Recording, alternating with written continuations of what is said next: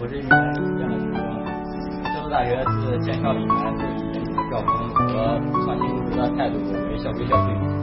实践专业各以各以对学生的实践专业对学生培养方面更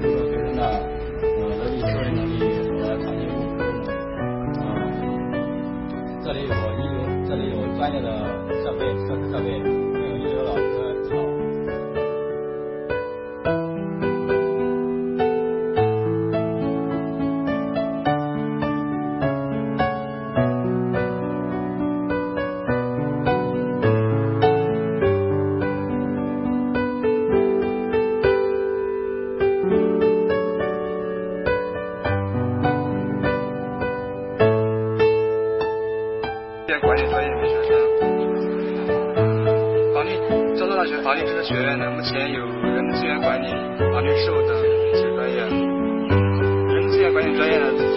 是主要培养大家就是管理、协调、组织的各种能力。目前主要的课程有管理学、人力资源管理事务、劳动保障、社会保障学、经济法等各种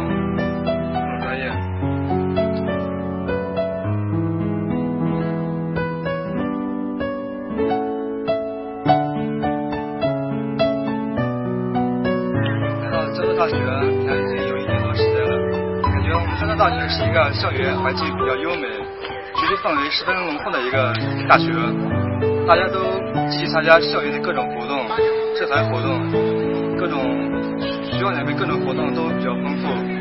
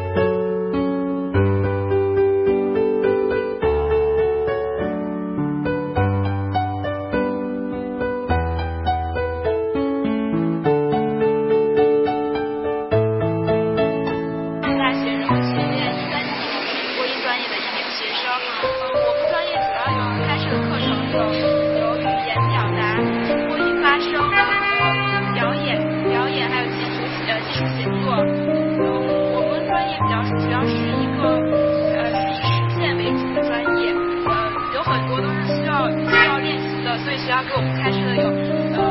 应用形体式，呃还有呃播还呃播音室、播音室、播音室，还有摄影摄影教室。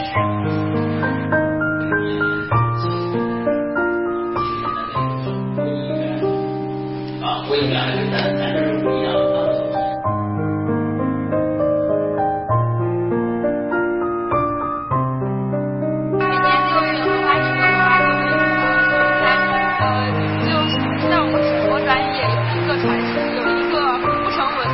说就是呃，如果说荷花池的呃呃，如果荷花池今年荷花开的比较多，那么中国专业的就会招的招的中中文系的人就会招的，只有这只是一个后半。